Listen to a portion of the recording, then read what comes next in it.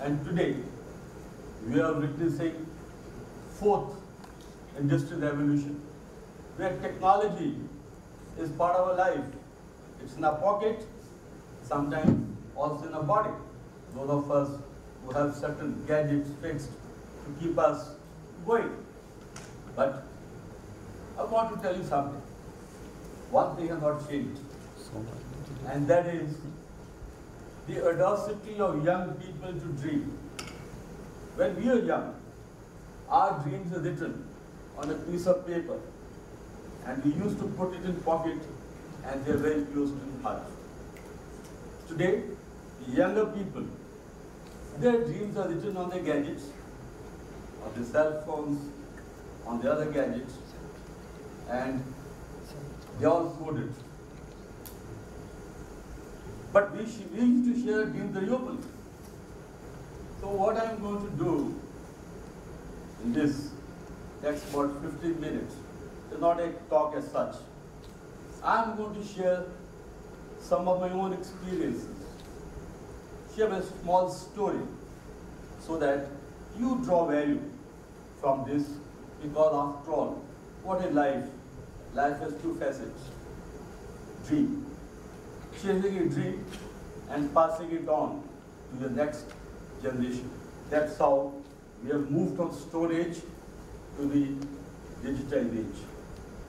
I'll start first with one very common word that we use, that is destiny. And we tend to attribute to the destiny very often when we fall short of effort.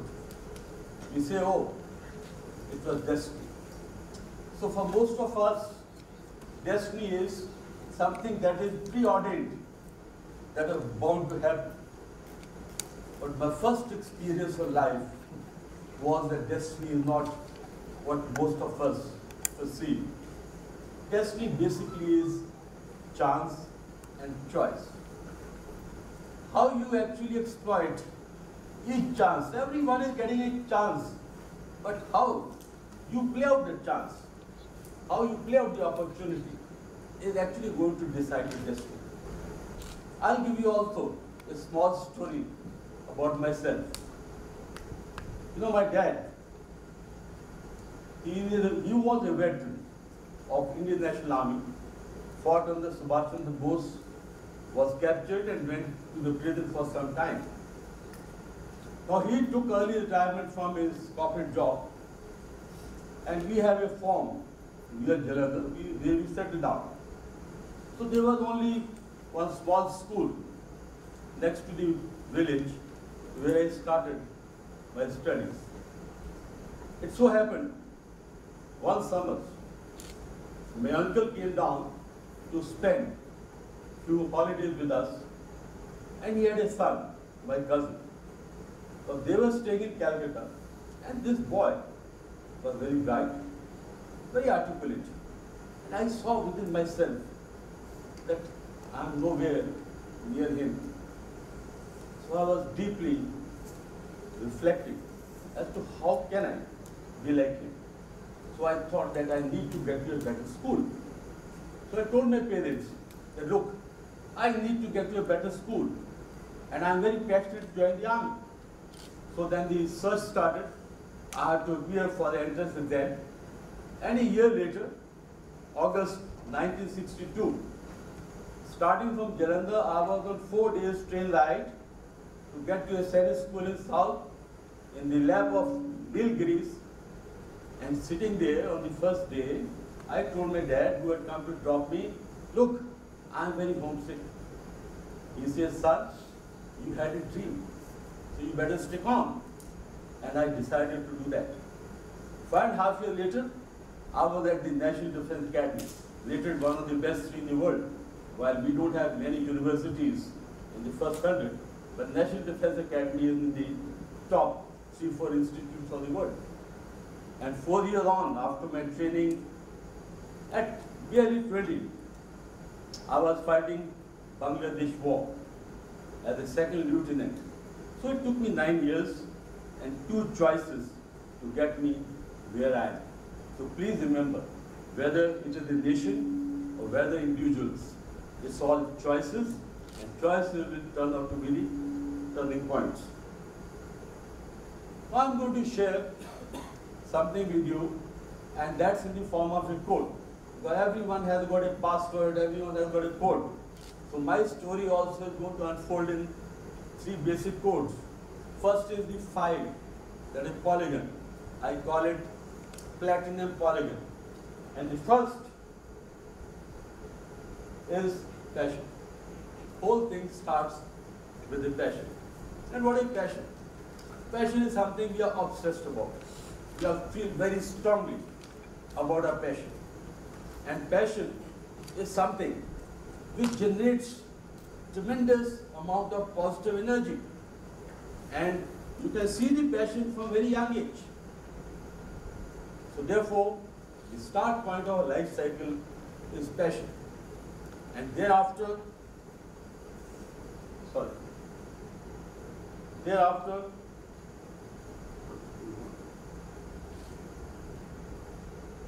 thereafter comes potential. The potential is something that we are naturally good at. Potential is that we have the ability to do something better than others.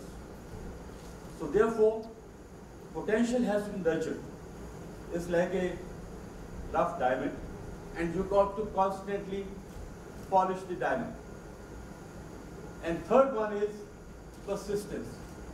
So when you combine passion and potential with persistence, then you are able to create a great amount of energy, great amount of momentum. And that momentum is very, very important to take you forward from where you are. The other next is purpose. You know, in life, most of us, we walk the journey, but without actually realizing what is the purpose. And to take you back, there are two very important days in one's life. The day you're born, and the day you, the day you realize what is the purpose of life. And if I ask you, what is the purpose of life? Many of you will be fumbling because it comes, you get enlightenment about your purpose after a lot of self-reflection. It doesn't come that easily. And the day you find your purpose, you find that you are aligned with your grand objectives. And the last one is principles. We all have principles. We all have red lines. And in life, you are always evaluated as to what are your principles and whom you stand for. So to get to where you want to, the first thing is get your platinum polygon in place. Next, what I call is the golden triangle. The golden triangle again has the first three components of the platinum polygon. It has passion on top, it has persistence and potential. So when you put these three together, you get something known as the sweet spot. Now, if you want to hit the ball on the fence or you want to fire an ace, you got to get the ball on the sweet spot. Let's take the example of some of the very outstanding Sachin Tendulkar. He is what Bharat Ratna for being one of the finest cricketers of the world. But you don't know, the 14 times Sachin Tendulkar was also duck out. 14 times. But Sachin Tendulkar could not have been Usain Bolt with a 5 feet 5 inches height. He could not have run 100 meters in 9.58 seconds. Or he couldn't have been Michael Jordan, who scored over 30,000 baskets but also missed 3,000 times. The point I'm trying to make is that you can only excel where you have passion, potential, and persistence. And you can only hit sixes provided you get the whole thing on the spot. Now I'll share with you nine golden rules which will brought me from where I was to where I am today. And I'm still following those rules, I have got still some bit of breath left to go on. So that is the nine principles. The first one, be a dreamer. Until you don't have a dream, you are like a vegetable. Most of the time, we have dreams, but we live others' dreams. Dreams which our parents thrust upon us, or dreams which are society. But until you own the dreams, you'll never be very, very persuasive. You lack persistence. Your effort will be half-hearted. Next is the status quo. Only people have brought change. Only people have made the difference. Not just for the sake of it, but to make total difference is by five status quo. You cannot get different result by doing same thing over and over again. You got to change your style, you got to change your strategy. And only if you are willing to challenge yourself, if you are willing to get out of the umbrella and feel the rain, that is the way you begin to challenge. Otherwise, you are going to beat the same trail. And anyone, I gave you example of Mahatma Gandhi, you should have the courage to take risk, to be on the edge.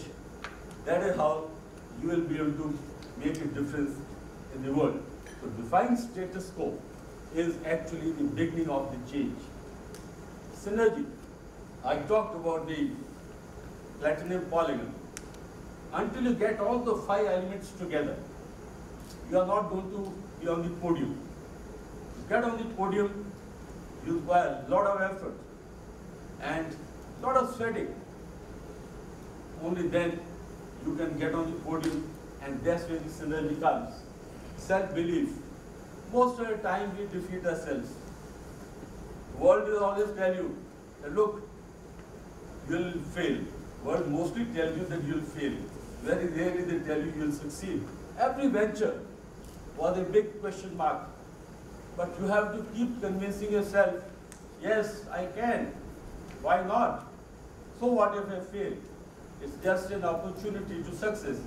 When Edison got the bulb glowing after 20,000 trials, he came out with one short line statement. Every failure was an opportunity.